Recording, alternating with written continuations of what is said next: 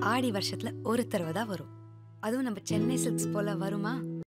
நிலவ ஆராய்ச்சி செய்யறதுக்காக இந்தியாவால் அனுப்பப்பட்ட சந்திரயான் த்ரீ விண்கலம் புவி வட்டப்பாதையை நிறைவு செஞ்சு நிலாவோட நீள்வட்ட பாதையை நோக்கி பயணத்தை தொடங்கியிருக்கு.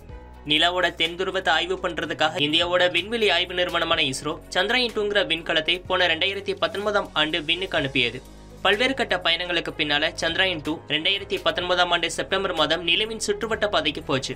ஆனாலும் கூட தொழில்நுட்ப கோளாறு காரணமா திட்டமிட்டபடி அதுல இருந்த லேண்டர் கலன் தரையிறங்க முடியாமல் நிலவின் மேற்பரப்புல மோதி செயலிழந்து போனது. அதே நேரம் விண்கலத்தின் இன்னொரு பகுதியான ஆர்பிட்டர் நிலாவோட சுற்றுவட்ட பாதையில வெற்றிகரமா நிலைநிறுத்தப்பட்டது. இதையடுத்து இஸ்ரோ அறுநூத்தி பதினஞ்சு கோடி ரூபாய் செலவுல சந்திராயன் த்ரீ விண்கலத்தை வடிவமைச்சிருக்கு. இந்த விண்கலம் எல்விஎம் த்ரீ ராக்கெட் மூலமா ஸ்ரீஹரிகோட்டாவில் இருக்கக்கூடிய இரண்டாவது ஏவுதளத்துல இருந்து ஜூலை பதினான்காம் தேதி மதியம் ரெண்டு முப்பத்தஞ்சு மணி அளவுல விண்ணில் செலுத்தப்பட்டது.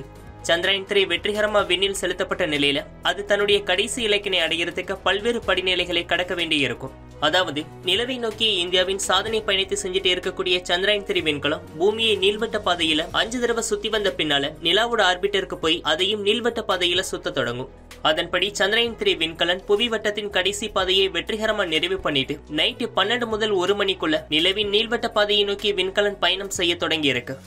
சந்திரனின் விண்கலத்தோட மிக முக்கிய பயணமாகவும் இது பார்க்கப்படுது. நிலாவுக்கும் பூமிக்கும் இடையிலான சராசரி தூரம் சுமார் மூணு புள்ளி எட்டு லட்சம் கிலோமீட்டர் ஆகும். ஒவ்வொரு நாளும் நிலாவுக்கும் பூமிக்கும் இருக்கக்கூடிய இடங்களை பொறுத்து இவற்றுக்கு இடையிலான தொலைவும் மாறுபடும். இப்ப பூமியின் சுற்றுவட்ட பாதையில இருந்து வெளியேறி நிலாவை நோக்கி பயணம் செய்ய தொடங்கி இருக்கக்கூடிய சந்திராயன் த்ரீ விண்கலம் வர ஆகஸ்ட் அஞ்சாம் தேதி நிலவின் சுற்றுவட்ட பாதைக்குள்ள போகும். அதன் பின்னால நிலவின் சுற்றுவட்ட பாதையில சந்திராயன் த்ரீ சுத்த தொடங்கணும் இஸ்ரோ சொல்லியிருக்கு. ஆகஸ்ட் அஞ்சாம் தேதியில இருந்து இருபத்தி மூணாம் தேதி வரைக்கும் நிலவின் சுற்றுவட்ட பாதைக்குள்ள சந்திராயன் த்ரீ விண்கலம் பயணம் செய்யும். அதன் பின்னால் ஆகஸ்ட் இருபத்தி மூணாம் தேதி ஈவினிங் அஞ்சு நாற்பத்தி ஏழு மணி அளவுல நிலவின் மேற்பரப்புல லேண்டர் தரையிறங்க இருக்கு. இந்த வரலாற்று சிறப்புமிக்க சாதனையை இந்தியாவை எதிர்பார்த்து காத்திருக்கு.